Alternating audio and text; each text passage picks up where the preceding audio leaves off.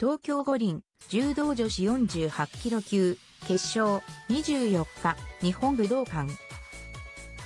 渡名喜風南、25、イコールパーク24イコールは、決勝で、ディストリアクラス日、コソボに敗れ、銀メダルとなった。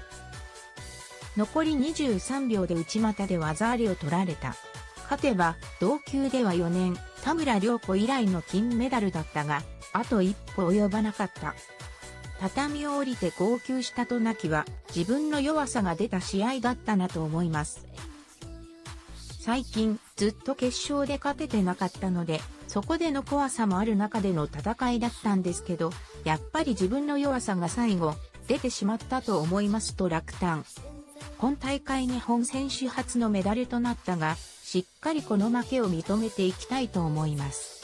ここまでコロナの中ですごい大変な中でたくさんの人が最後までサポートしてくれたので感謝でいっぱいですと言葉を絞り出した。準々決勝ではリオ五輪金メダルのパレト、アルゼンチンに関節2で一本勝ち。